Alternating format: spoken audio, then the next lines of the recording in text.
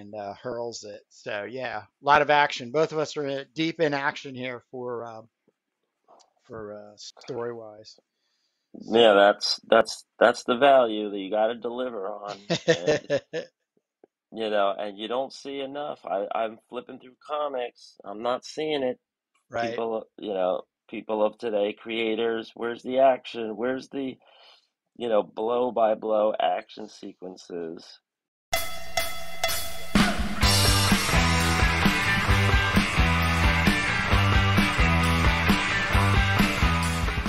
We are live. Welcome to making the Turbo Pit Fighter comic, where two guys actually get together and make a comic book. Not only talk about how to make a comic book, but actually make a comic book. I'm Kurt Brugel. How you doing today, Jake? Uh, I'm great. I'm I'm a little behind, so thanks for waiting up for me, but I'm ready no now. worries. No worries. Yeah, I was actually up late doing some comic, um, and uh, I'll show you my uh, progress from last night. But um, you know, summer's off now for for teachers, and so we get a couple extra hours here and there. Good, good. Yeah, you have the solid Fridays off now, huh? Yeah, it's a, just a question of what else do I have to do on those days. But yeah, Fri- my- I don't have to teach on Fridays, and my uh, my school hours are very um, uh, they're only eight to twelve. So if I can get if I can get out of the building, I can get home by like one. And um, again, it, you know, what else do I have to do besides Right. uh, sit here and do comics? Well, it's, kind of a it's kind of a treat for me to uh, have extra time. You know, the, the, these last uh, pandemic years have been really brutal on teachers Oh, I bet. because we've we've been having to. At first, we had to do all of our uh, curriculum online, hmm and like we had to convert everything, which takes forever. And then we had to, um, you know, this past year, we just had to uh, do a lot of coverages and deal with a lot of exigencies uh, in schools that take away all of your prep periods and take away, you know, all the time you're counting on so that you have to stay late or come in early in order to get your job done. And this last year was it, you you might see a lot of teachers in your local area quitting or retiring early. Uh, Yeah, we're already seeing the that. We're already seeing that. around yeah around the country.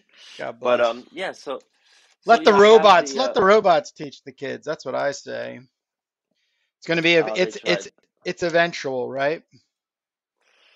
Mm, No, actually, uh, it, it's it's uh, it's gone backwards. That's what a lot of people thought until the pandemic. When the Right, pandemic came, they they tried all of this like uh, different online technology and right. You know and Khan Academy and teaching kids like you know from packaged videos and stuff. And the kids responded terribly, and the and the the t- uh, parents hate it. Mhm. So you know, now there's a big push to hire as many teachers as possible to try to replace all the teachers that left.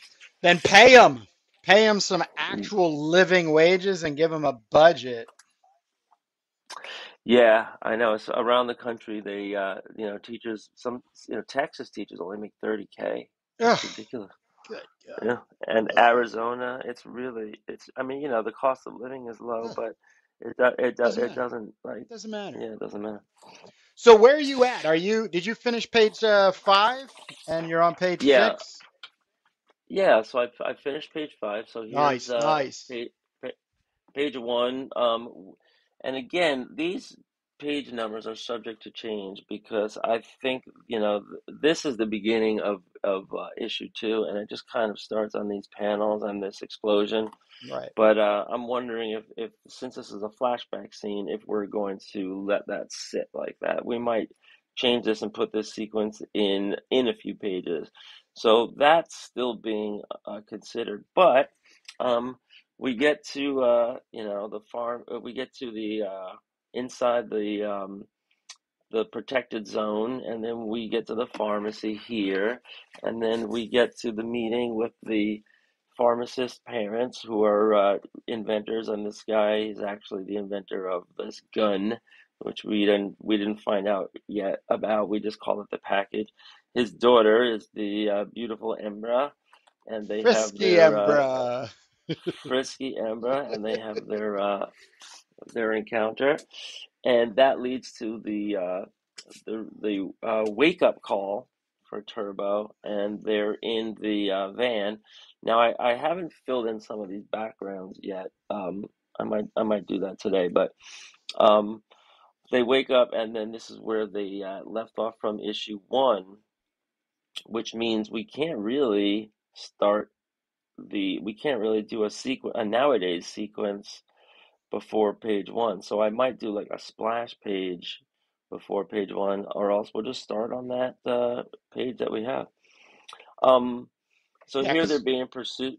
Yeah, go ahead. yeah, well, I was just gonna say we've we've often mentioned in past episodes about um, maybe resequencing all the little parts because the parts you have are about two to three pages.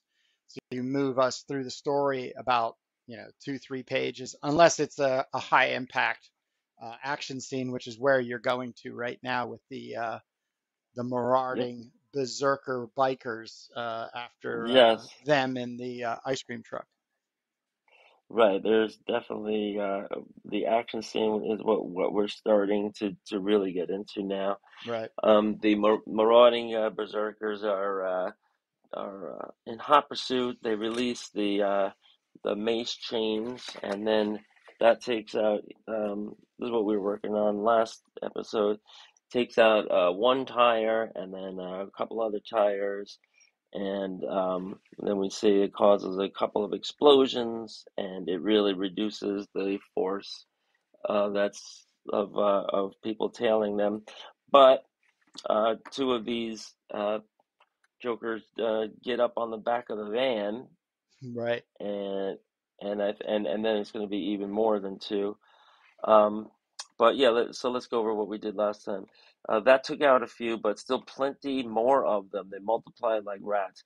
You notice that I'm putting the uh, actual um, lettering in this time Yeah. um, because I don't know how I did it last time, but I did empty balloons, and I'm not sure how I kept track of everything. I had it all Right. separate, but Right. um, they're on the roof. What are we gonna do? Um, I'll deal with them, and so uh, the guy has a hammer, a claw hammer, some kind of claw thing going right through the roof, and then we still hear the the uh, sound effects clump. But you're gonna have to take out their wheels. Me, and here you can see I'm just making these kind of things pop out in front. Um, how am I gonna do that? Some of these uh, little balloon tails aren't clear as I'm seeing these things. Um, these are called tumble wires. You just drop them in front of the bike's wheels when they get close. Got it? And she's showing her these little metal uh, egg looking things. And then we come to page six. Um, page six here so far, it's uh, she'll say, uh, "What are what the hell are these?" And uh, Turbo's like uh, a mess of wires that uncoil on contact. This will take them down. But what if I miss? So throw two at a time, about six feet ahead of them. Got it? This is insane. And then there's like another crunk up on the uh, ceiling This this is insane. I'm not ready for this. You're all we got at this point. Now get to the side door before they dot dot dot. And then now we're see here. Hello, ladies. And this guy He's upside down. crash.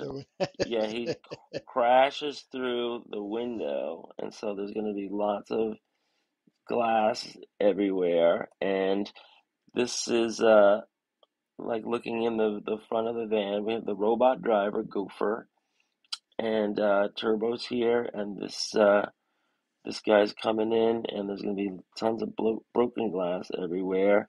It's going to say Krish, and then she's going ee, and then Turbo's gonna be saying checks notes. Um, you rotten low life scum or something. Let's see. Why you? It's gonna be yeah. It's right here. Um, yeah, she doesn't take kindly. You rotten scum. Unless you have anything better. uh, nice, nice. Yeah, you rotten scum. That's how we all feel sometimes.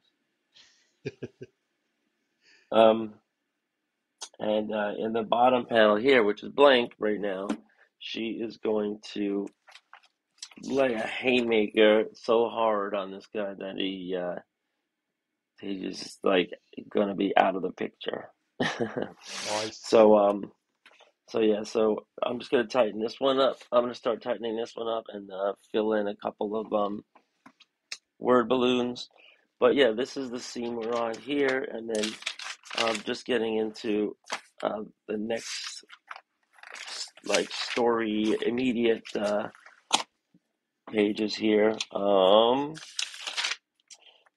um, yeah, so they're gonna they're gonna jump in. A couple more of them gonna jump in. You know, I think I have four of them gonna jump in to the cab and uh, duke it out, and and then she's going to jump. They, they're gonna uh, right. Uh, so here, I don't know. These these are just like really.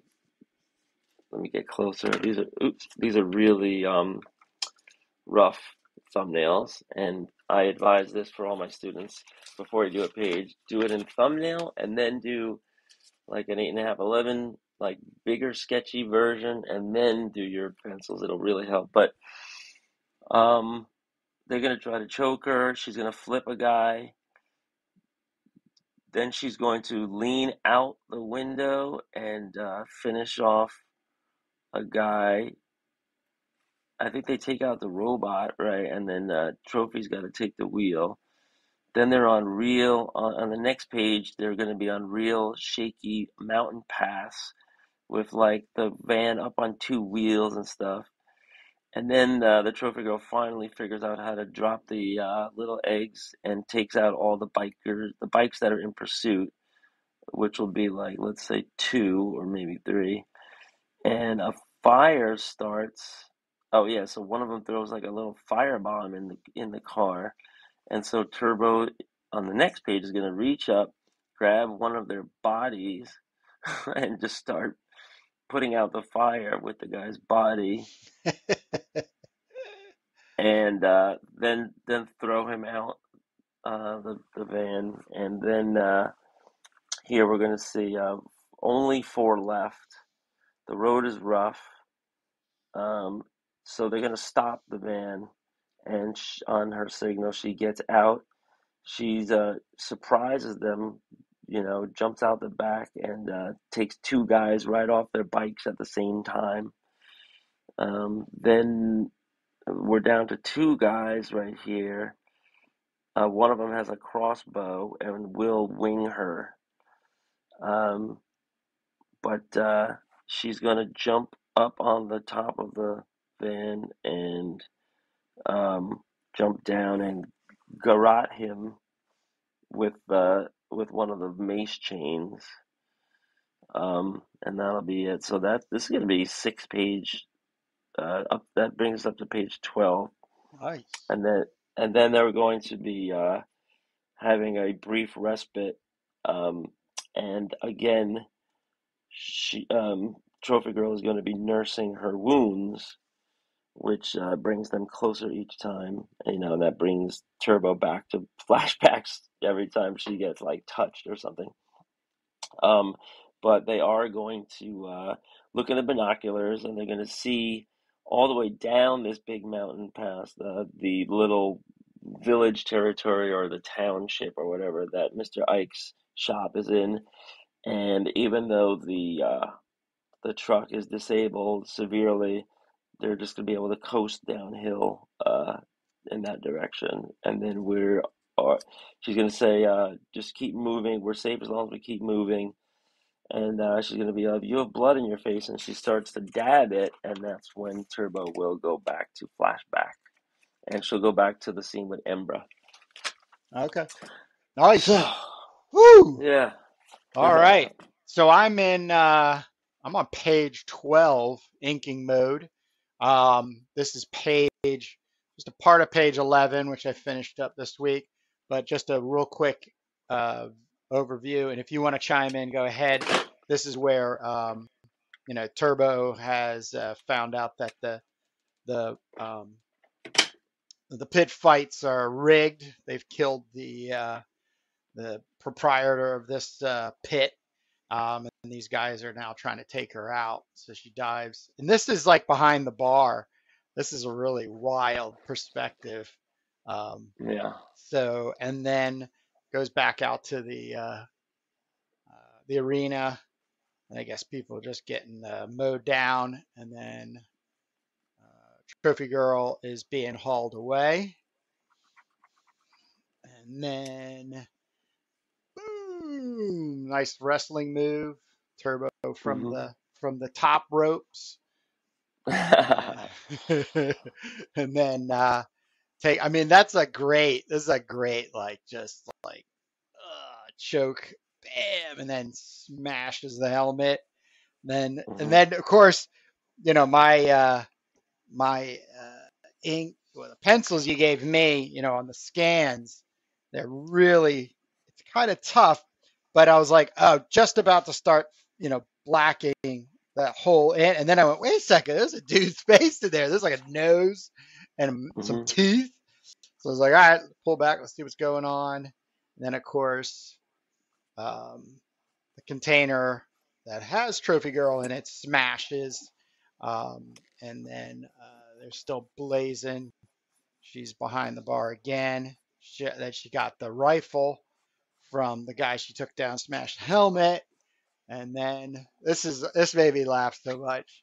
Um, so she's you know now she's like firing the gun at him, but um, Skybong. Skybong Liquor, the king, 160 proof. These tanks.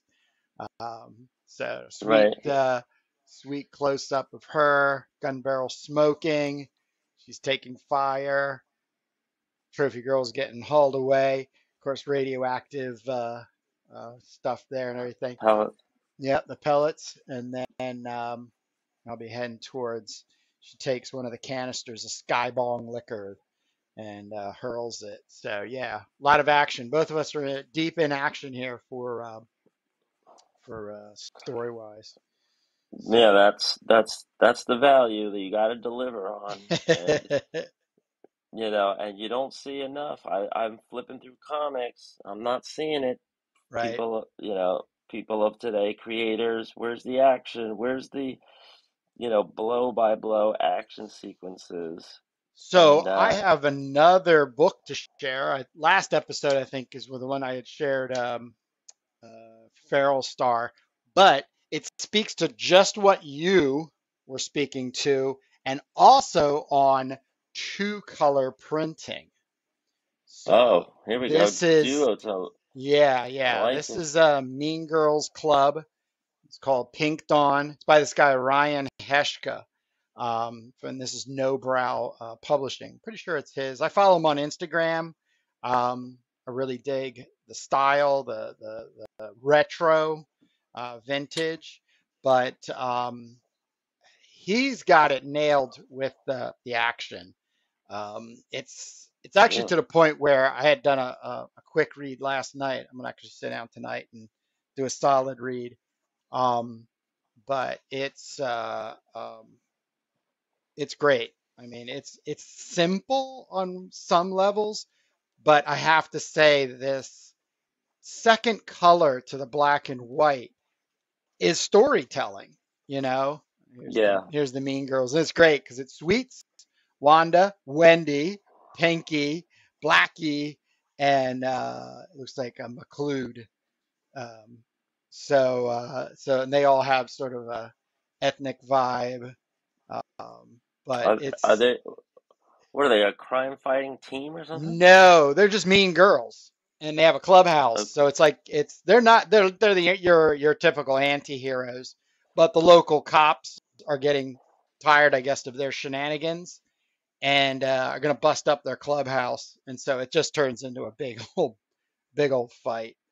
So it's a what kind of shenanigans? What are I, they doing? I haven't read anything yet, so I don't Oh, know okay. how they sit. I just like I spent about a half an hour kind of just flipping through. Um, I don't want to give too much away because I really want Yeah. people to go and get a copy because you know this is uh, one of our fellow small press um, people. But there was a page in here. Man, So I'm picking up uh I'm picking up an aesthetic of like Morticia or Elvira or kind of like uh screen like uh demonic scream queen uh you know ladies Yeah, or yeah, uh yeah. with the L Lily Munster maybe no I mean Oh yeah. I I always like Lily Munster better than Morticia but um you know just uh draped in black a very gothic Well, the uh Vampira, right? right Was right you know Vampira she uh a trying to find there was one oh, man, I should have markered it off. But he had drawn another layer where then all of these sort of like symbols were sitting over the top of it. And I just thought it was so well crafted. Maybe it's right here. Maybe it's this one. So this So, yeah It looks like the it looks like um kind of like a, a children's book in the way this the uh the layouts are. oh yeah. Really big really big open layouts and big words, big word balloons, right? Yeah, And uh how but then, you know, you how get something in the in this kind of how's that lettering done? Is that a is that a font? Yeah, that's a font, It's a font. It's a font. I have a Yeah. feeling though it oh maybe yeah. I am yeah, I'm I'm gonna I'm going to s- I'm going to second guess that font because Oh maybe. that it's big it's big and it takes up a lot of room, you know? And uh you know, I think you can get away with smaller Yeah, this is and uh you know even I think this is like an eight by ten book. So right.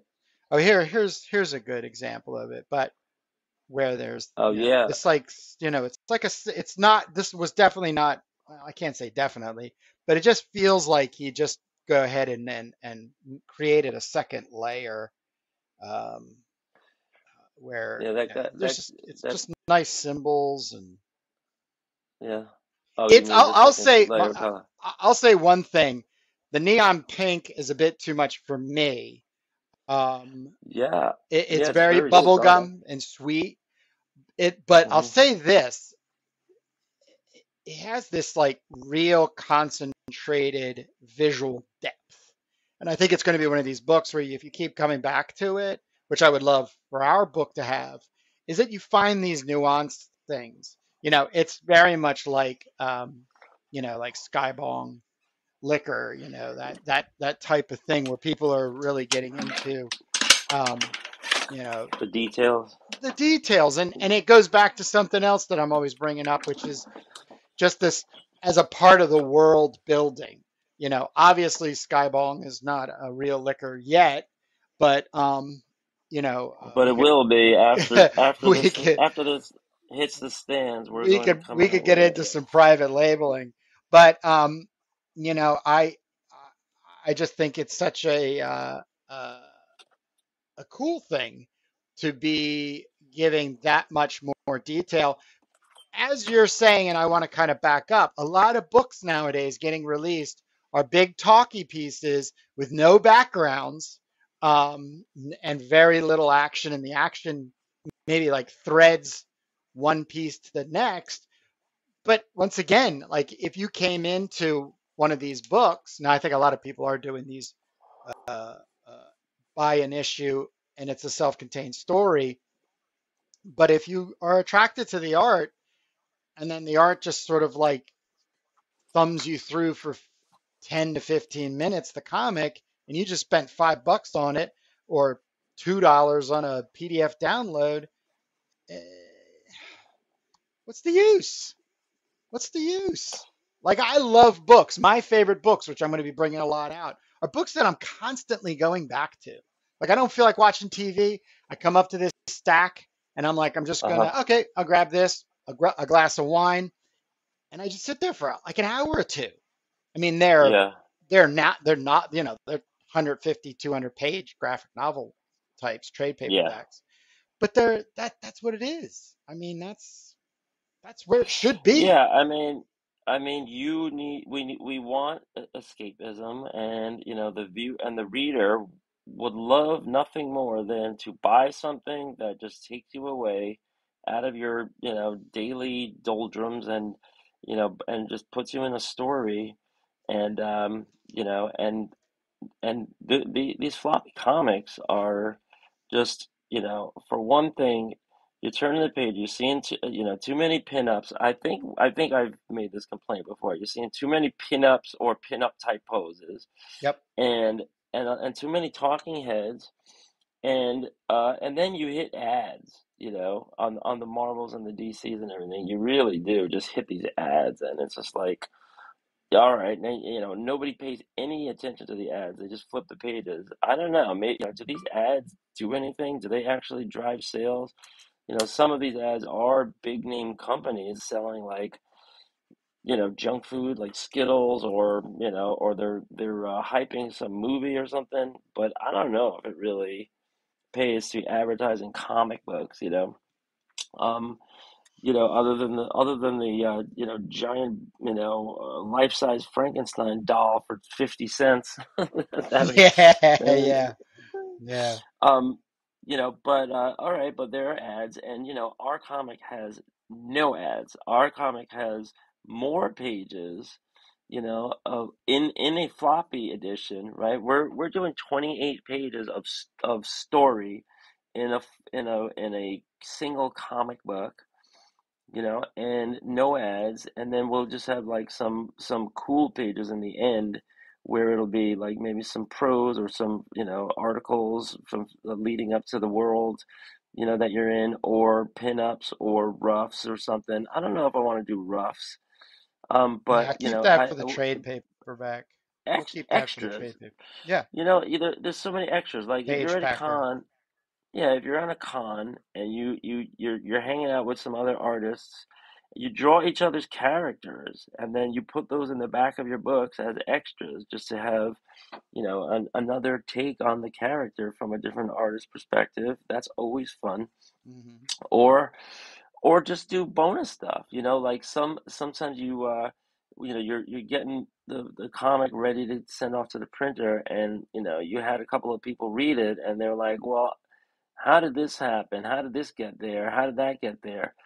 So you you know you might have these little like fill in uh, you know things. I mean, I might have like these fake articles that I make from newspapers or science magazines or you know some publication of the day that is going to explain how the world got this way. You know, and it's all good because you know the Watchmen had lots lots of stuff like that, and uh, I think a lot of comics have had uh, graphic novels have had stuff like that where there's a couple of pages of text or prose, you know, in some format, in some, you know, graphic art format, where it carries the story along. But if a reader doesn't want to read a page of text, they just skip, you know, they skip it, go to the next page. So, you know, it could be an in, infographic, it could be a listicle, it could be like all these different things that you can do, you know, just to add value. But, you know, you're only talking about an, another four pages because we're doing 32 plus four uh, and we're going to print. And the 32 is the 28, you know, s- story pages, action packed. And then uh, four pages of, of, you know, this other kind of filler stuff. And then the four is the front cover, inside front cover, and back cover, and inside back cover. So, you know, that's it. We got a formula and we're sticking to it. And um and we don't have, you know, it's it's designed to get a reader, you know, hopefully get into the story, take your attention and then, you know, out of the real world into the story. And uh, you know, that's what I think comics should do Marvel and DC comics should do more of. And and Image and Dark Horse and all those guys. Whoever, you know, whoever has that, like Are you really getting anything out of those ads? Are they really like making money? Does it justify the ads? Do they have salespeople? I mean, you know, how does that, how does the business side of that work? I wonder. Yeah, I, I think a lot of it is, you know, um, comic books anywhere beyond indie self-publishing. The comic book is a piece of advertising material as it is. So I wouldn't be surprised if it comes out in the wash at some point where, you know, uh, you know, they're just being paid outwardly to ha- hold those uh, um, advertisements for the movie, the the television Right. series on Disney, the you know, the so on and so forth. Um, And it's the, the same exact ad in every comic that comes yeah, out that month month, yeah, right? So there's like a monthly, you know, ads, maybe like I don't know, eight, ten pages of ads, right? That they yeah, say, all right, we're, we're gonna have Starburst fruit juice here, and we're gonna have, you know, this one there, and then of course there there are also promoting, you know, uh, all their other comics, hmm and that's that's fine. But I would do that all at the end of the book, so you're not taking people out of the story, you know? yeah. Well, it seems I think one of the hardest parts, and, and I've heard this from many a many a collector, let's say, um, they'll they'll get they'll they'll get a hold of your um, um, your floppy, but they'll get it as a PDF. And then once they you you have completed, um, you know, let's say it's a six issue book uh, storyline, they and then you do a Indiegogo or Kickstarter or whatever. Um, they're they're then they're just as happy to put fifty to seventy five dollars down for your uh, you know your big book your your story and then that's how they add it to their collection um, Right. and so i i you know i feel like we're on uh, you know a, a level where we need to be um, conscientious about just getting viewership um, where it, it's you know they get the opportunity to to um, to see the to, to read the whole entire story online for really nothing um, you know which i know it can be a controversial thing um, but if you have the consistency in your behavior that you're going to bring this to some place and people are excited you know when it gets out to a point uh, and you say hey you know here's my new stories but you know i'm looking for some from some dollar support now you'll most Right. definitely I get mean, it I mean, you know you'll you'll every you'll everything we just said. Yeah, everything we just said would would go out the window if somebody offered us some cash and say, "Hey, can I put a, a full page ad in your comic and here's a whole bunch of cash?" I I think we would just retract everything we just Yeah, said. But but yeah. but I would I I would really, you know, hate to just put it in the middle of the story, you know. I don't know about that. Well, know, that's prime. That's prime real estate and advertising because they're the the uh, the yeah, so I think is there. I think if the money's good, um, then you do inside front cover or inside back cover, you know. Sure. Yeah, yeah. But uh, you know, the, these are the things that, you know, you have all the flexibility in the world. If you're the publisher, the creator, you can do whatever you want. And if you can get some kind of advertising, like, you know, maybe you're not going to be, you know, plugged into the corporate world and and you know, be able to do, you know, what Marvel and DC do because they have it's systematized and they have built-in audiences and track records. Uh, but maybe you get like you know a friend's comic and maybe you trade a page in in your comic so they could promo their comic. Um, you know, certain certainly if you're if you're putting anything else out, you uh, you know you get a page advert or uh, or you know a panel advertising that and um, you know your uh, your publisher might have some thoughts you know to, that they want to put on the page um, you know, like a like a stand soapbox type of thing. And you know, there's there's definitely room for that. But um, you know, I uh, I think you know when you get into a story, I mean, you don't want you don't want it to be too long, right? You have to have these kind of like chapter breaks, right? So, you know, we're we're doing the flashbacks, you know, to go in and out of these sequences. And you know, so if you know someone's got to go take a leak, you know, you have like a good place to put the, the thing down, or if you want to go get it, you know, your drink or whatever.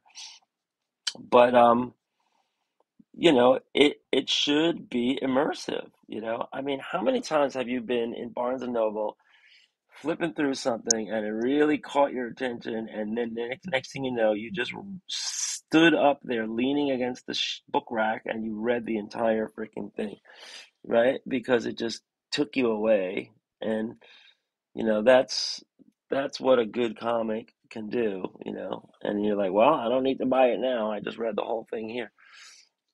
And that goes Um, back to what I was saying is that, you know, we're a visual based art form where, you know, the best books are working hand in hand with words. Um, so it, it, I I can't, I, I can barely remember standing in a Borders or a Barnes and Noble. Um, but uh, it, if it's that good, um, and they're and, and they're speaking to to me as a as a collector based on genre. Um, even if I did or do or had read it standing there at, at a Barnes and Noble, I most definitely would buy it. Um, oh yeah. yeah, Well, you know, yeah, if you if, if I mean, you know, if you're a collector and you see something's good, you want to own it and and you know, put it, you know, uh, something valuable in your collection. But if you're just a kid, you know, or you oh know, yeah, or you don't have the money, like I, you know, I'm thinking back to, I mean, I have a confession. I, you, you're gonna laugh. You know the uh the trilogy, you know, uh the uh, Lord of the Rings. yeah. So I ha- I, I got a copy of the twin uh, the the Fellowship of the Rings and I read it. Uh, I got that from school and, and, and all that. But um I didn't have a copy of the next book. So I go into um the, a bookstore near where my mom lived because I was staying with her for the summer, and I read the whole Twin Towers leaning against the book rack. they didn't try to offer you a job at least at, at like week one, No, that it, it it was the good old days where they didn't say, "Hey kid, you're gonna buy that?" I mean, I just melted into the furniture, to the wall, and you know, I I remember I remember because they had they had a decent uh, comic section, and I remember seeing you know uh, Star Reach comics, yeah, um, yeah. and and then I was like really getting into those stories, and I said, "Wow, I want to go home and draw some Yep. spaceships." Oh, Yep. that made, made me want to draw some spaceships. What was the guy, Mark Friedrich or something, or the uh, Star Reach? Yeah, so it was like uh, that was uh, you know real indie stuff back then, and uh, you know this this was downtown Manhattan. This was the Soho area. So I read all of the Twin Towers like that, and never bought a copy. And and um and then you're gonna say, well, what about the third book, right? I'm sure everybody's asking. you got it for Christmas. I I never I never read the third book Ooh. for 10 years. Oh, 10 okay. years. Okay. I purpose I purposely did not read the third book because I wanted to savor it and and always have it to read in my future. And then I finally read it when uh, I guess I couldn't take it anymore. I just, you know, and the ending and everything, and I and I cried and all that good stuff. But uh, you know, I I'm like that, right? I have I have books that I'm enjoying, and then I just stop right in the middle because I want to savor it. And I really want to enjoy it when I uh, like, you know, summer vacation or something, you know, or or I'm traveling and I, you know, I really want to be in a cool headspace. Um, and so that's what I'm doing right now with the uh, the Marvel Comics book, which I'll show the audience right here. uh, this book, this book really got me. Uh, Marvel Comics by Sean Howe. I got this for free from a friend, and uh, it doesn't have the cover, so I don't know what the cover looks like, but Uh, you start reading this, and it's a really great history of Marvel Comics. You know, really just the Stan Lee era, you know, not like the whole Martin Goodman thing from before. And this is just so good. It brings you through this year by year. And I got into like the 70s and they stopped because I'm like, oh wow, this book is too good, and I don't even know what happens. Like, I think I'm into like 1973, 1974, and I just said, all right, I want to finish this some other time because it's too good. I don't want to. I don't want to like ruin it all right now. I want to enjoy it, but um, you know, I don't know that. I know that's weird. Most people just gobble, you know, the whole thing up. Hey, this is good. I read it in in a couple of hours. You know, this is good. I read it all in two days. You know, I understand uh, that I'm weird. Yeah, but the whole standing around thing actually brought me back to pre-COVID. um, libraries. Um, my wife and I are library people, um, mainly because it's there and you can check it out and you can go and sit down and read it or just check it, like literally check it out and take it home. Um, so everything from um, not only like books but um, DVDs when we had a, D- a DVD player. hmm Um, but uh, that is, I think, of a let's say let's call it an important place for comics to be uh, found and read. Um, and so I know at the, the Gardner Francis Fox Library, I started looking into um, how you sell books to libraries. Um, and I actually had an acquaintance that's a librarian, so I reached out to her, and she she said and verified what I had been reading, which is you send the librarian, you know, some material about your book, um, and if it meets that librarian's uh, needs, Muster, yeah, well, it's needs. I mean, because they're they're not. Uh, well, I can't speak for all librarians, but um, you know, they they have. If people are coming up day and night, you know, do you have do you have this kind of book? You have this kind of book? You have you have comic yeah, books? You have comic books? I want to read a comic book. Can you re- suggest a comic book? Um, you know, but you know, the obviously if you have a YA book, um, you know, you're you're going to get a lot more attention than uh, you know, something that has uh, boobies Hmm. um, right, and explicit violence. But you know, it, it's still something to be said uh, um, in how people are getting to uh, your your your comic book. right. They're uh, they're getting exposed to it one way or the other. Yeah. Library libraries are, are cool. I remember killing time in libraries, and before I had kids, I could just go in and, and uh, you know do a whole day I mean, you know what I used to do in libraries because, you know, I I am in schools a lot, so that you know you have your school library, which are which are sometimes very limited, but then college libraries are interesting, you know, because they have uh, research material, you know, and if you're if you're into art, you know, they have all kinds of art books and art history books and stuff. But what I used to do is um, I mean, in New York, you know, we we really take advantage of Barnes and Noble's, you know, reading policy. They just let you sit there and read. They have chairs, you know, and uh, so that's nice. You know, they're they're trying to sell you, I guess, coffee or whatever. But Oh yeah. um, libraries, I used to go and and uh, oh, you know, find uh, some some books of the masters, like literally like Leonardo and Michelangelo and all that, and then just sit there and copy their hands, like the way that you, they drew hands. That's what I used to do in libraries, and just Yeah. and then you know I would I would always do the thing, you know, where you're going through the the shelves and you're picking out stuff and you bite off way more than you can chew, right? You ever do that? Yeah. It's like you you come back and you've got like 16 books, and your wife says, "What the hell are you thinking?" And then you're like, "All right," and, and uh, you know you might get you might get through like six or seven of them, you know. But uh, Yeah.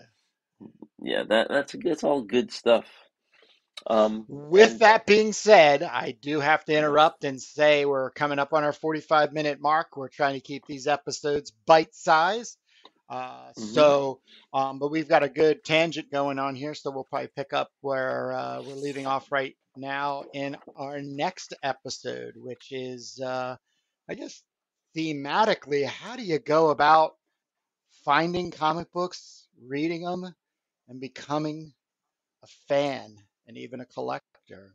So, Yeah, um, and and I and just to tease it, I also I ha I have a treasury edition of Simon Kirby that I'm going to show that uh, I bet nobody has seen this this uh, early early uh, Jack Kirby and Joe Simon stuff before. So we're gonna sh show a little bit of that and uh, cool. and talk talk about the evolution. Yep. Cool. Awesome. Well, I say thank you for stopping by and listening all the way up to this point if you have.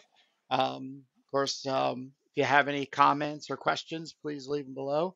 Um, and we are doing this every week. We're posting a new episode at 11 o'clock in the morning Eastern time, and we are for real.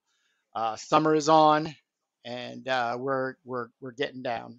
So with that, I time. say goodbye until next time.